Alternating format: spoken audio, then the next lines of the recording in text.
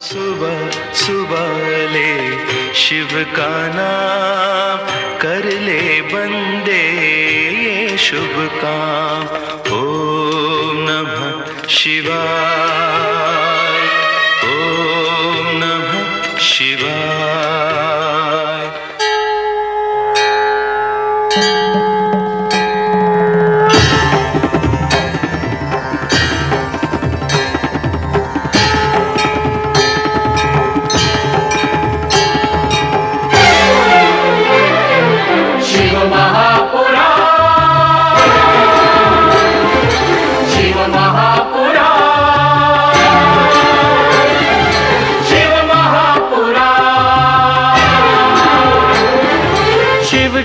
शिव शक्ति की भक्त और भक्ति की ये कथा महान।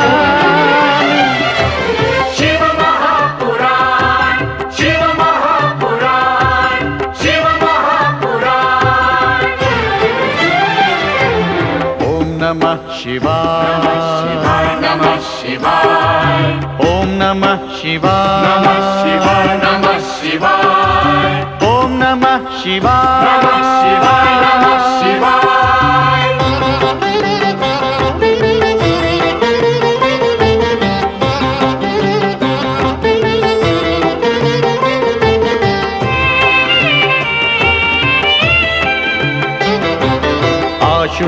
आशुतोष नीलकंठ शंभु अविनाशी गंगाधर महादेव जो है कैलाशी।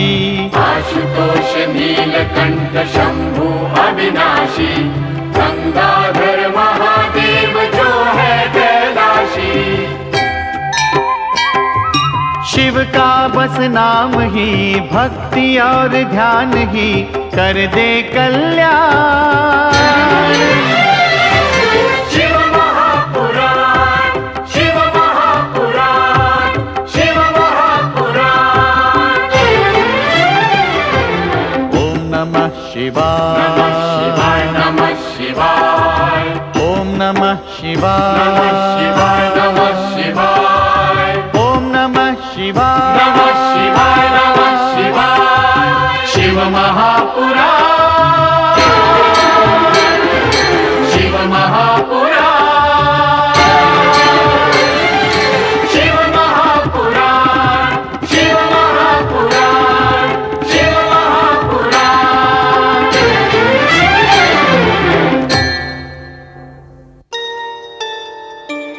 सप्तर्षियों का अनुरोध स्वीकार करके हिमालय राज अपने कुल गुरु महर्षि गर्ग को अपने भावी जामाता शिवशंकर के पास निमंत्रण हेतु भेजते हैं। उधर तारकासुर को जब शिव पार्वती विवाह की तैयारियों का पता चलता है तो वो इस विवाह में बाधा डालने के लिए हिमालय तथा कैलाश पर आक्रमण का निश्चय करता है। उसी समय दैत्य गुरु शुक्राचार्य प्रकट होते हैं तथा अपने प्रभाव का प्रयोग करके तारकासुर को इस सर्वनाशी कृत्य से रोक देते हैं। अंत में लंबे समय से प्रतीक्षित शिव पार्वती विवाह का शुभ मुहूर्त आ ही जाता है। शिव शंकर दूल्हा बनकर पार्वती को ब्याहने के लिए बारात लेकर हिमालय प्रासाद पहुँचते हैं। वर राजा शिव का अनुपम रूप देखकर हिमालय प्रासाद में पधारी नारियाँ हर्ष से गदगद हो जाती हैं। परंतु महारानी मैना के मन से शिव के प्रति शंका अभी तक निर्मूल नहीं हुई थी। इसी शंका को झकझोरने के लिए वर राजा रूपी शिव महारानी मैना को भयानक भूतनाथ रूप की झलक दिखाकर भयभीत तथा भ्रमित कर देते हैं। तब ही ब्रह्मा जी भगवान विष्णु तथा देवगणों सहित वहाँ पहुँचते हैं तथा महारानी मैना को समझाते हैं कि शिव का जो रूप उन्होंने देखा था, वो उनके मन की शंकाओं का ही प्रतिबिंब था। जब सबके आग्रह पर महारानी मैना उत्सुक मन से वर राजा शिव के पास आरती लेकर स्वागत हेतु पहुँचती हैं तो उनका विमुग्धकारी रूप देखकर उनका हृदय हर्ष से खिल उठता है।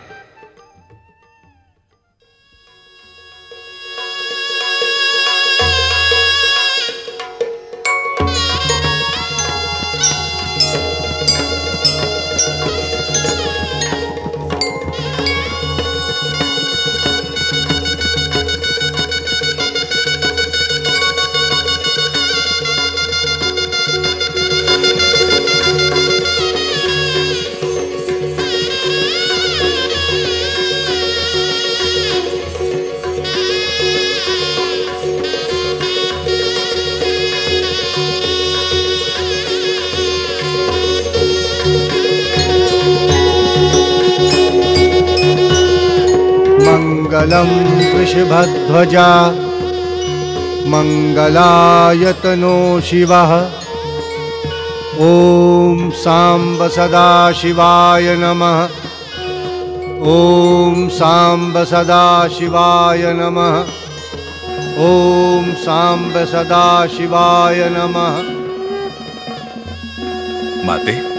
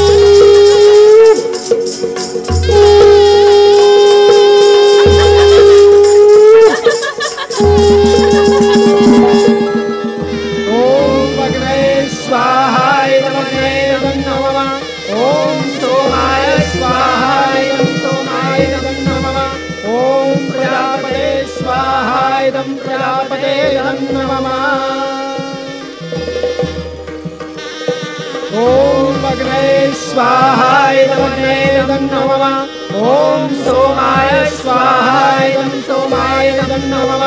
ॐ प्रजापते स्वाहाय तं प्रजापते नमः। ॐ स्वस्ति नो मिमितामस्ति न भगः स्वस्ति देव्यदितिरवणः स्वस्ति पूषा असुरो दधातुनः। स्वस्ति द्यावा पृथिवी सुचेतुना। स्वस्ति मित्रा वरुणा स्वस्ति स्वस्ति न इन्द्रश्चाग्निश्च स्वस्ति नो कृभिः स्वस्ति पन्था मनुचरेम सूर्या चन्द्रमसा विवा ॐ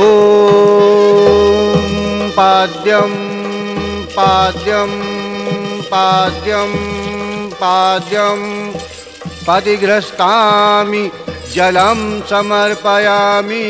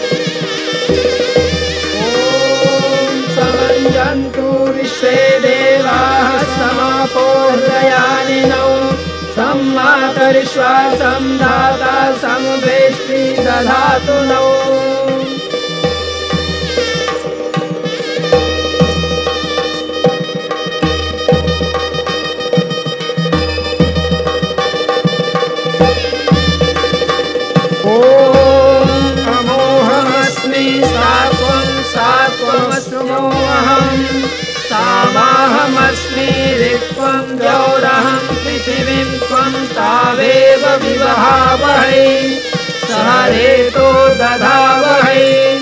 प्रजां प्रजनयावहै पुत्रान् विन्दावहै बहून्। ते सन्तु जरदश्चया सम्प्रियो रोजिष्णु सुमनस्य मानो। ॐ सरस्वती प्रेदमवसुभगे वाजिनीवति।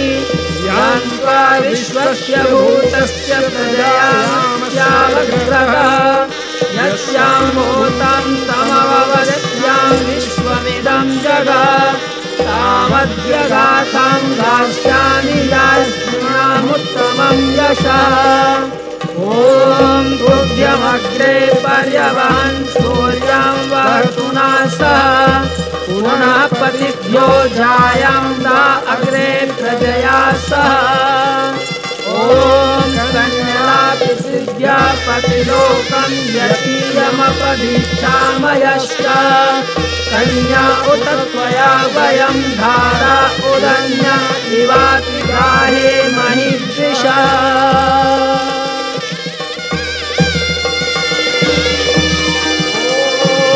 नमोहमस्मि सा त्वं सा त्वं सा वाहमस्मि रिक्वं गौरहम् पृथिवीं त्वं तावेव विवहावहै। सह रेतो दधावहै प्रजां प्रजनयावहै पुत्रान् विन्दावहै बहून्। ते सन्तु जरदष्टया सम्प्रियो रोचिष्णु सुमनस्य मानौ। भगवान भोलेनाथ की जय। शिव शक्ति शिवा की जय ं।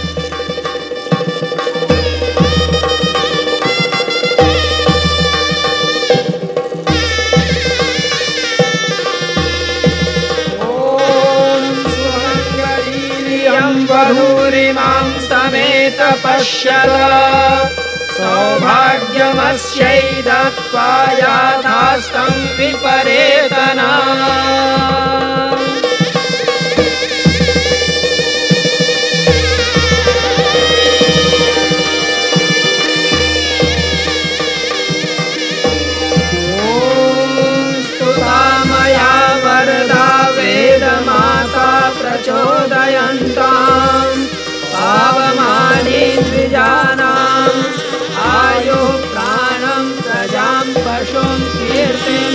द्रविणं ब्रह्मवर्चसाम्। भगवान भोले शंकर की। माता पार्वती की। भगवान भोले शंकर की। माता पार्वती की। भगवान भोले शंकर की। माता पार्वती की। भगवान भोले शंकर की। माता पार्वती की। भगवान भोले शंकर की। शिव पार्वती विवाह संपन्न हो गया। कुछ नहीं कर सके। हा! स्वर्ग पर शासन करने वाले महाशक्तिशाली तारकासुर की शक्ति धरी की धरी रह गई। अब हमारा काल उत्पन्न होने वाला है और हम हाथ पर हाथ धरे बैठे हैं। हम विवश है असुरराज शिव पार्वती के विरुद्ध हम कुछ नहीं कर सकते। चुप रहो! आसुर होकर कहते हो, कुछ नहीं कर सकते। ये कहते हुए तुम्हें लज्जा नहीं आई? हाँ? हम कुछ नहीं कर सके। केवल दैत्य गुरु शुक्राचार्य के आदेश के कारण। परंतु अब ऐसा लगता है कि दैत्य गुरु हमारे लिए कुछ नहीं करेंगे। हाँ। आप सत्य कह रहे हैं, दैत्यराज। गुरु शुक्राचार्य का आश्रय छोड़कर अब हमें ही कुछ करना होगा। हाँ। हम यही सोच रहे हैं कि हमें क्या करना चाहिए। हम क्रोध की ज्वाला में चले जा रहे हैं। मयासूर शीघ्र बताओ अपने काल को उत्पन्न होने से रोकने के लिए हमें क्या करना चाहिए? असुरराज हमें कुछ ऐसा करना होगा जिससे चारों ओर असुरों का आतंक फैल जाए। संपूर्ण सृष्टि हाहाकार कर उठे। इससे शिव और पार्वती के मिलाप में बाधा अवश्य उत्पन्न होगी। मयासूर हमने अट्टहास क्यों किया? क्षमा चाहता हूँ असुरराज मेरी समझ में कुछ नहीं आया।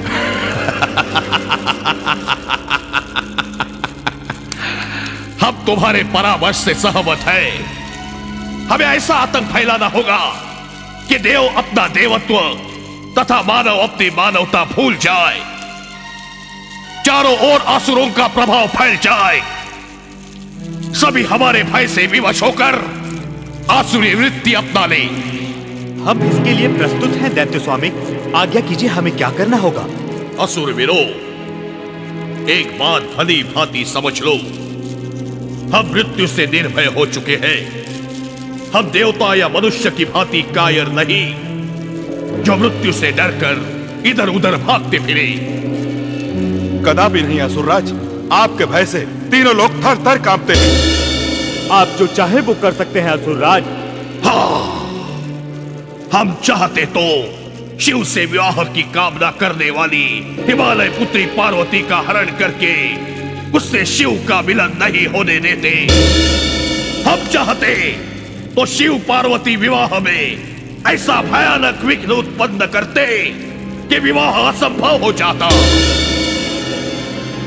परंतु दैत्य गुरु शुक्राचार्य ने हमें बार बार रोका। आप सत्य कह रहे हैं। दैत्य गुरु शुक्राचार्य हमारे इस कार्य में बाधक बने। उन्होंने हमें विवश कर दिया और हम कुछ न कर सके। परंतु अब हम विवश नहीं है। हाँ अब जो हम चाहेंगे वही करेंगे। हाँ। अवश्य। अवश्य असुरराज बोलो, परम पराक्रमी तारकासुर की यदि मेरा काल बनकर शिव पुत्र उत्पन्न होता है तो होता रहे। अब हमें मृत्यु का तनिक भी भय नहीं। मृत्यु से पहले संसार में तारकासुर असुरों का साम्राज्य स्थापित करेगा, ताकि असुर संस्कृति के रक्षक तारकासुर का नाम असुर जाति में अमर हो जाए। असुरों के गौरव की रक्षा केवल आप ही कर सकते हैं असुरराज। हाँ समस्त असुरों को हमारा आदेश है कि वो स्वर्ग तथा पृथ्वी पर वायु के समान फैल जाए। देवताओं तथा मनुष्य को असुरों का दास बनने पर विवश करे। और जो भी असुरों की आधीनता स्वीकार न करे उसे समाप्त कर दो। सके? आपके आदेश का पालन होगा। ऐसा ही होगा असुरराज। हम ऐसा ही करेंगे। नैत्य राज तार का सुर्खी। जय!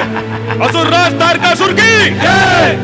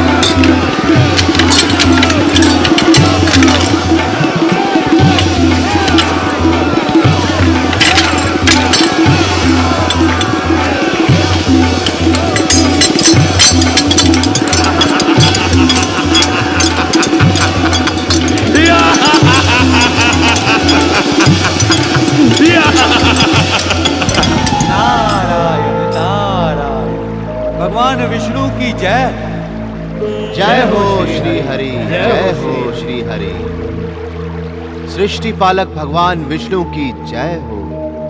पधारिए मुनिवर, पधारिए देवराज। प्रणाम माते। प्रभु, जब जब विपदा आती है, आपकी शरण में आने के अतिरिक्त कोई उपाय नहीं सूझता तारकासुर का अत्याचार असह हो गया है। देवर्षि, अधर्म अन्याय तथा अत्याचार के दमन के लिए मैं सदैव तत्पर रहता हूँ। किंतु तारकासुर के संदर्भ में मैं विवश हूँ मुनिवर। आप तो सृष्टि के पालन करता है। प्रभु आपको विवशता कैसे? प्रभु सृष्टि कल्याण तथा देवताओं की रक्षा का उपाय आपके अतिरिक्त कौन कर सकता है? देवर्षि शिव पार्वती विवाह के पश्चात अपनी मृत्यु समीप आते देखकर भी तारकासुर के अत्याचारों में कोई कमी नहीं आई। अत्याचारों में कमी? नारायण नारायण। माते शिव पार्वती विवाह के पश्चात तो वो और भी भयंकर हो गया है। पृथ्वीवासियों पर उसके अत्याचारों की कोई सीमा ना रही। चारों ओर त्राही त्राही हो रही है। श्री हरि। माता शक्ति के पार्वती के रूप में अवतरित होने से लेकर अब तक क्या क्या बाधाएँ नहीं आई? शिव पार्वती विवाह के पश्चात हमने सोचा था शिव पुत्र उत्पन्न होकर दुष्ट तारकासुर का संहार करेगा प्रभु। परंतु माते अब ऐसा प्रतीत होता है कि शिव पुत्र उत्पन्न होने से पहले ही आसुरी शक्तियों का तीनों लोक पर आधिपत्य हो जाएगा। ब्रह्मदेव के वरदान के अनुसार तारकासुर के अंत का एकमात्र विकल्प है शिव।